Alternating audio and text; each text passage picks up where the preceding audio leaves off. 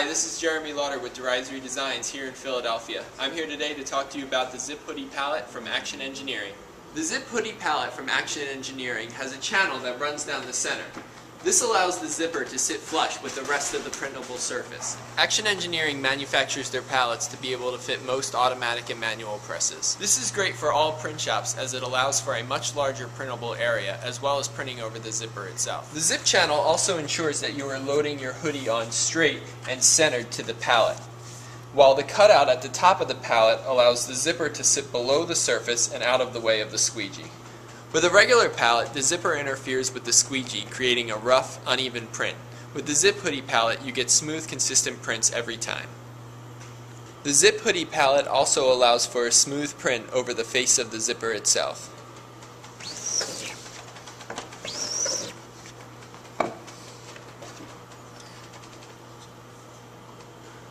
So that's pretty much it. Uh, the Zip Hoodie pallet has been a real time and money saver for us here at the shop. We've already recommended it to three people, and now we recommend it to you. Thanks.